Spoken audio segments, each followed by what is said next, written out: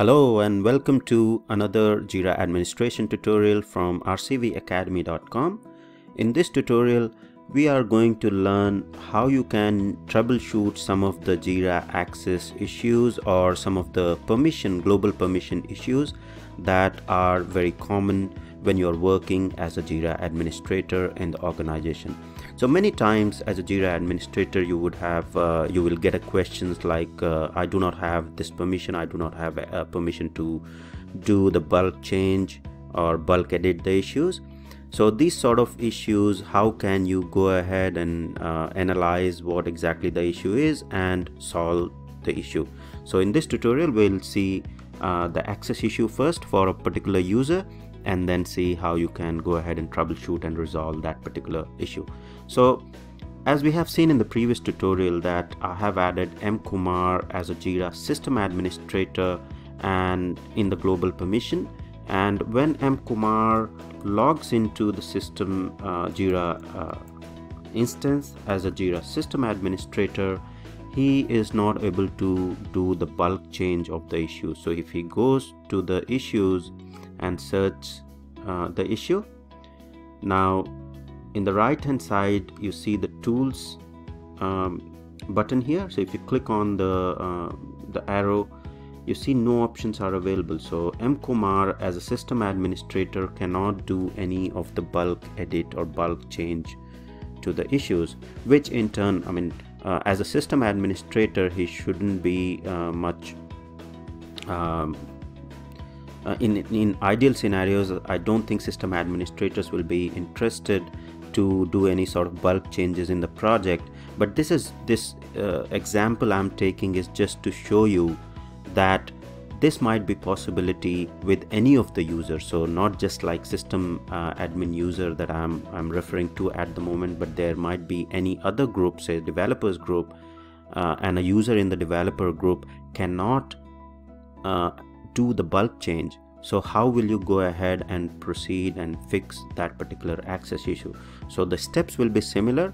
At the moment i have just taken an example of the m of the user m kumar who is part of the system administrator group but it doesn't matter which group or which which user it is uh, or which part of the group it, it, that particular user is in your organization the step to troubleshoot and fix the issue will be same.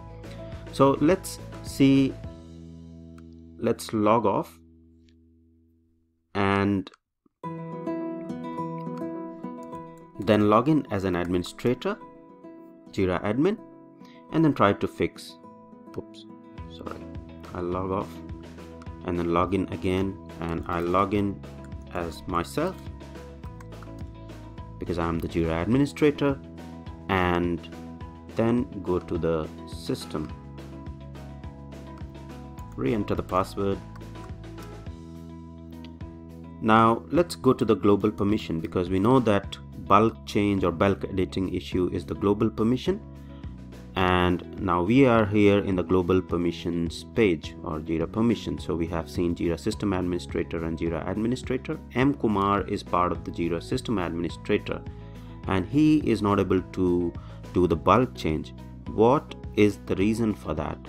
Now M. Kumar is only part of the Jira System Administrators group. He is not part of any of the other groups that are having access to do the bulk change.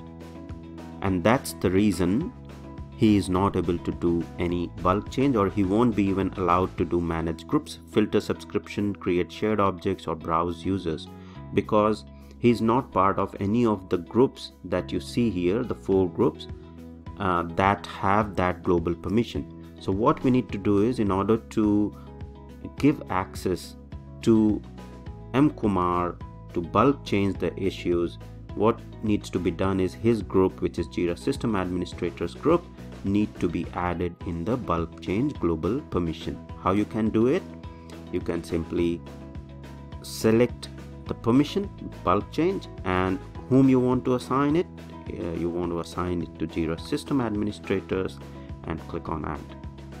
Now you can see Jira System Administrators group has been added in the bulk change global permission and now if you go back and log in as M Kumar he should be able to do the bulk edit of the issues. He would still not be able to do manage group filter subscription, create shared objects and browse users. However, he'll be able to do bulk change.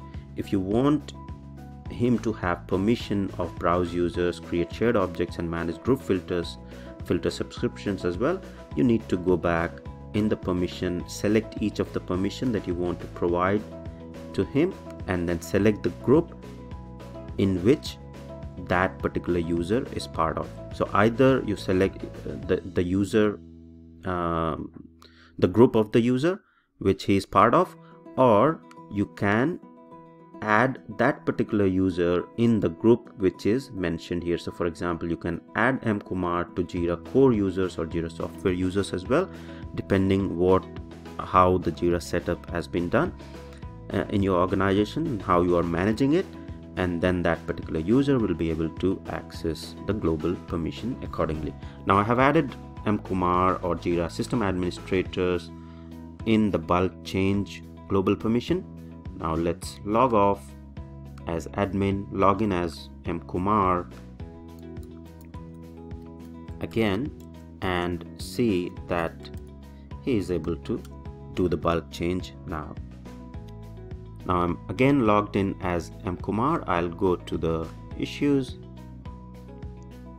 and go to the tools menu again. And now here you can see that in the drop down as compared to previous instance uh, now you he has option to do the bulk change so you can just select all 24 issues uh, and go next.